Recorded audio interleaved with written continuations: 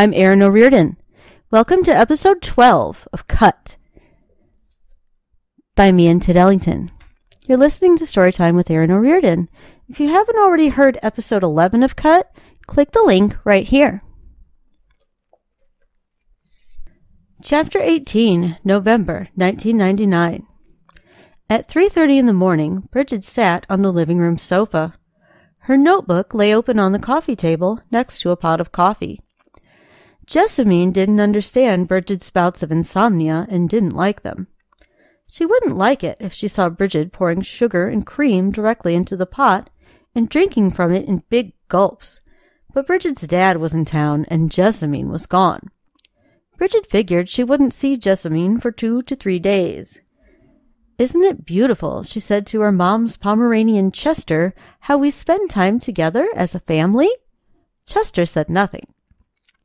Brigid turned back to her notes and tried to imagine what would be on the history midterm. It was the end of November, still three weeks away from midterms, but her schedule would be filled with basketball. Recruiters were in town and Coach Longley stepped up practice from three to five times a week. As good as she was on court, Brigid knew she couldn't let her grades slip if she hoped for a full scholarship. And Brigid aimed high. She wanted to go to one of the top basketball schools, maybe UConn or Georgetown. Chester suddenly sprang to life, running into Jessamine's bedroom and barking at the window. Brigid ran after him and swatted his hindquarters with a closed fist.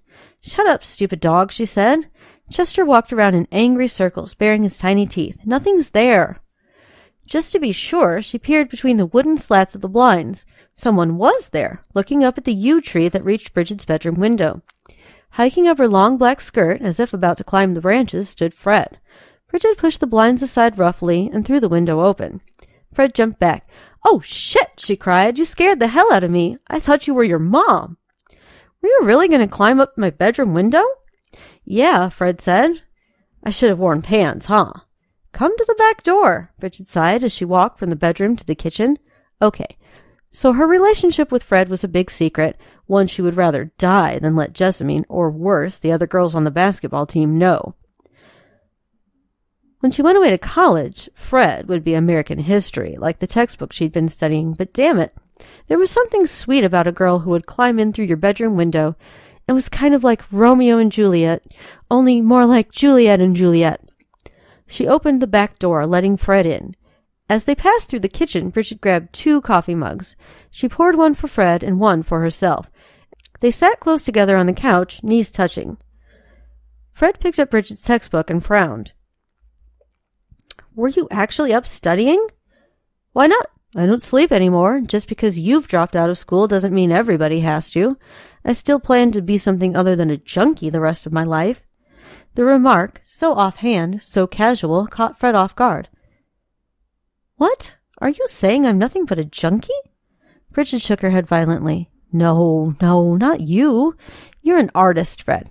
You're so talented. And not only your paintings either. You could probably play violin with the symphony orchestra if you tried. Picking up Fred's long, pale fingers, she added gently, All of them are on smack anyway. It's a musician thing. Fred had to laugh. She rolled the textbook over in her hand, studying the American flag on the cover. At last she said, Isn't the United States of America the stupidest name you've ever heard of? For a country, I mean. Brigid wrested the book from her. No, what are you talking about? Think about it. What does United States of America mean? That we're some states, we're united somehow, and that we're in America. America could be anywhere on the continents of North or South America, so that's not specific enough. And the part about the states doesn't narrow it down either. Mexico has United States too, so does Canada, except they call them provinces. It's not even a name, it's a vague description. It's so generic, like naming a country country. Brigid laughed. So what do you want to call it then? Fridaland. Freedom Land. I like that. She put the history book down on the table. Fred didn't feel like correcting her. But it's not just the vagueness, she went on. It's the arrogance. Just because we take up one badly named part of the continent, we call ourselves Americans. People from Peru are Americans. Yet, if you went to Europe and told people you were American, they wouldn't ask North or South. They'd assume you were from the United States. That must be galling to Peruvians. Galling, Brigid interrupted. That's a big word for you, Fred. Fred stared at her. Seriously, though, in Spanish they have the word estadounidense to describe people from the United States. The English language doesn't have a word like United Statesian. So what do we do? Appropriate the nationality that rightfully belongs to everyone from Alaska to Patagonia. I've never heard of Patagonia, Brigid admitted.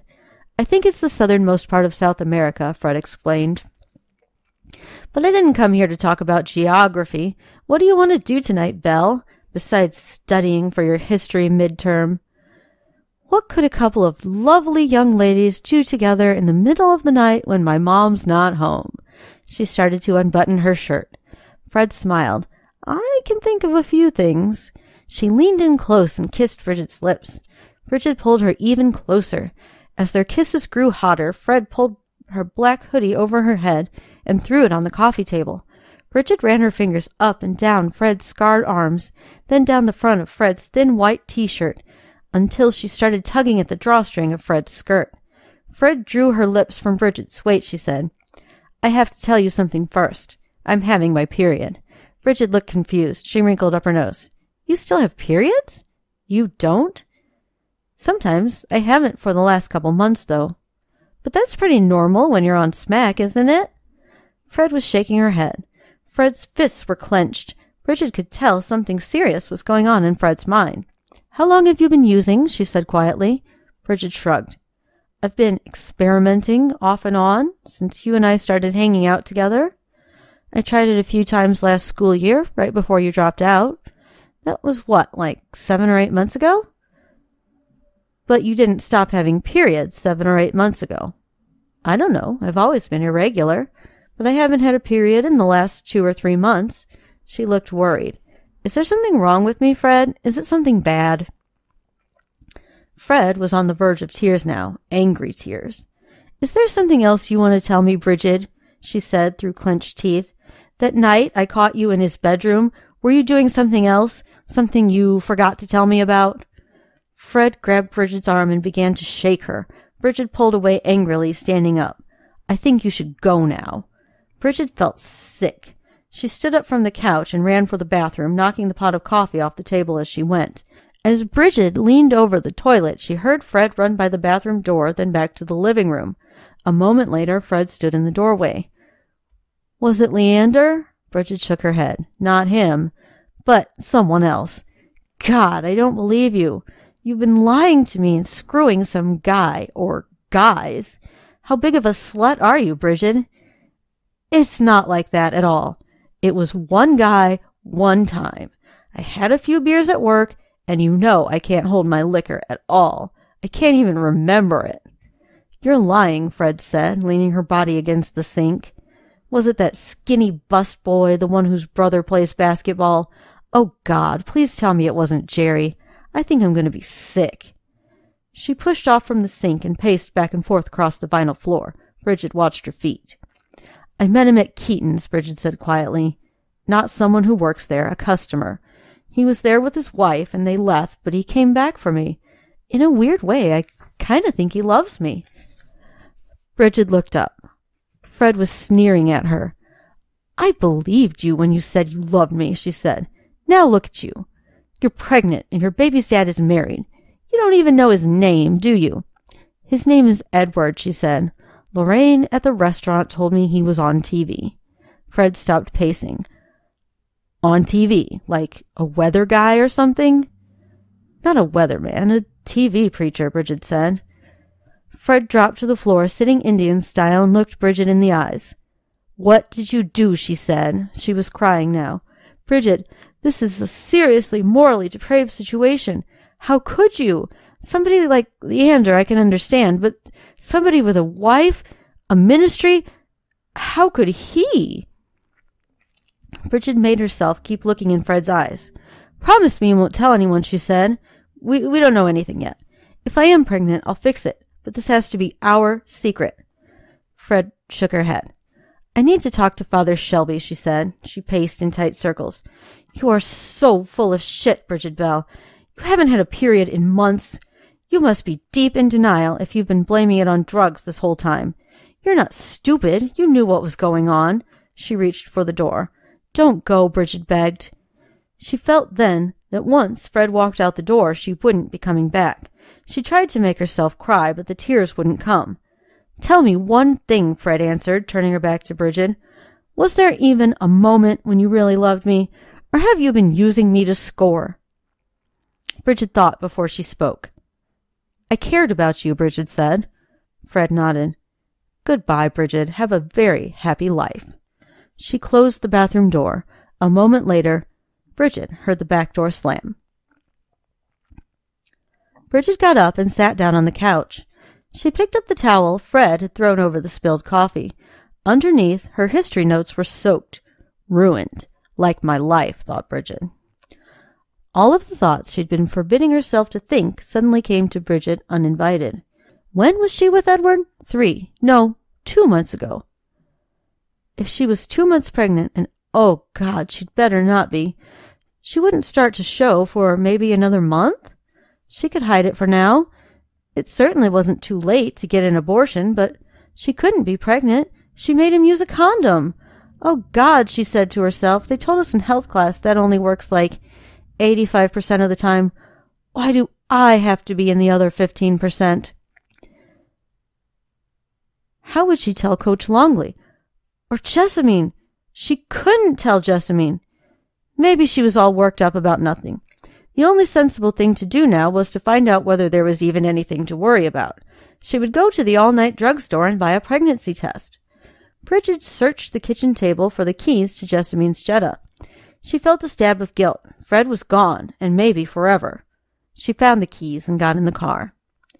Without any all-night drugstores in Brigid's neighborhood, she had to drive north, nearer the campus of St. Helena's. As she drove, Brigid thought about the night Fred came to her face lined with black mascara tear stains, and told her she was dropping out of high school. Brigid had understood. It wasn't easy for Fred, constantly being called a freak, a dyke, and worse. That night they had held each other and cried together.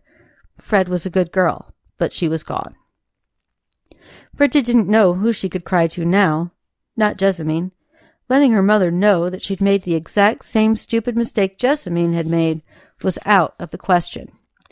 She reached the drugstore. Hers was the only car in the parking lot. Looking around, she ran into the store.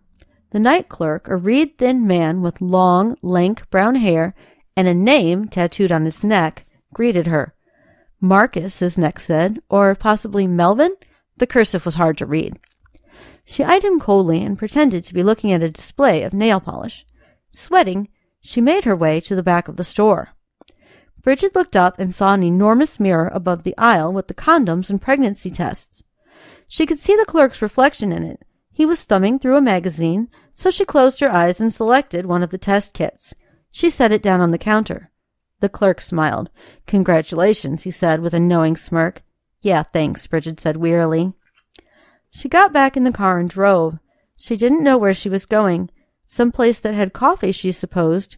Some place quiet where she could sit, weep, drink, and get up to pee. Out of the corner of her eye, Brigid spotted the green sign of the Phoenix Cafe. Chapter 19, November 1999. Diana and Tim went on their third official date the last week of November. They'd been talking on the phone and had met for lunch a few times over the past month, but, to Diana's regret, she didn't have much free time. She was really looking forward to this date. Tim didn't disappoint her. He took her to the planetarium where they kissed under the artificial stars. Then back to Keaton's. Tim reserved the same table they'd had on their first date. After dinner, they went to Diana's apartment. She took his jacket and hung it in the closet next to hers. They took their shoes off and left them side by side at the front door. Diana walked into the living room and Tim followed her. Your apartment is nice, he said. It's really clean. I meant to tell you that the last time. Thanks, she said. I try. Would you like something to drink? Sure, whatever you've got. A half wall separated the kitchen from the living room. Diana went into the kitchen and looked in the fridge while Tim made himself comfortable on the couch. She was out of Diet Cokes. The only other thing to drink in there was beer, and Tim wouldn't go for that. Hot tea, she said. Sounds great. Hey, that's right. You don't have a TV. I don't have time to watch TV, Diana said. I'm always busy with work and with school. She immediately regretted saying it. She didn't want Tim thinking that she didn't have time for him. Diana filled the tea kettle with water and set it on the stove. That's cool, he said. I watch too much TV. And not even anything good. I'll watch whatever's on, just so I don't have to feel like I'm alone with my own thoughts. After she'd put the tea bags into the last two clean mugs, Diana went into the living room and sat next to him on the couch. That sounds lonely, she said. I feel that way sometimes too. But I put on the radio. The university has a student radio station with some pretty good programs. Oh, I know. I listen to it sometimes when I'm meditating. I've done a lot of meditating since I got shot. After a moment, the tea kettle whistled. Diana got up to pour the water. Tim looked down at his hands and laughed. I keep bringing up all these deep, heavy things. You seem like a nice girl, Diana. You don't want to hear about all this serious shit, do you? I'm a big girl. I can handle a little truth, she said from the kitchen. Sugar? Yes, please. She spooned a generous helping of sugar into both mugs and left the tea to steep. Secretly, she wondered if the tea would be left to steep all night, forgotten. So, did you have fun at the university the other night? Yeah. I know the pagans were a little weird, but believe it or not, their ceremonies are very meaningful to me. Even if it was just a bonfire and some music. When you grow up not believing in anything, it feels really good to be part of a community that has faith. He nodded. I had a good time too. And again tonight.